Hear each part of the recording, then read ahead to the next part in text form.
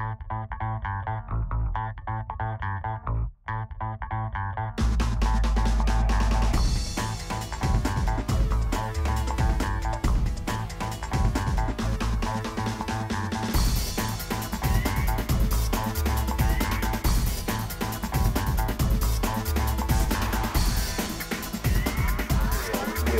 if a company runs an ad during the Super Bowl. It's hard to track. So that's the debate that goes on inside boardrooms all the time. Hey, we're spending all this money. Can, how can we track it? And what they do is they say, well, we see, we research, we do interviews with people after we run the commercial. You can have a seat.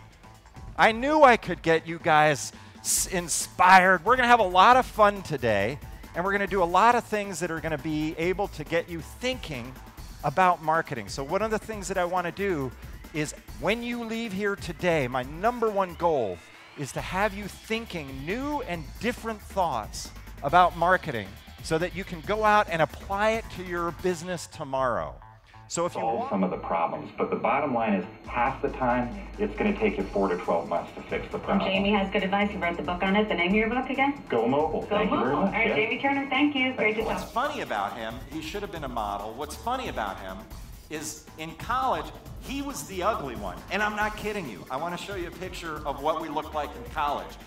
That's him in college. He was ugly. I was the good looking one, and then all this happened, right? You know, it's, my wife tells me, she says, yeah, it was false advertising. You had hair when I met you, and now it's just gone. What happened there? So, and then forgets about the first account she opened, which has happened probably. I'm just saying.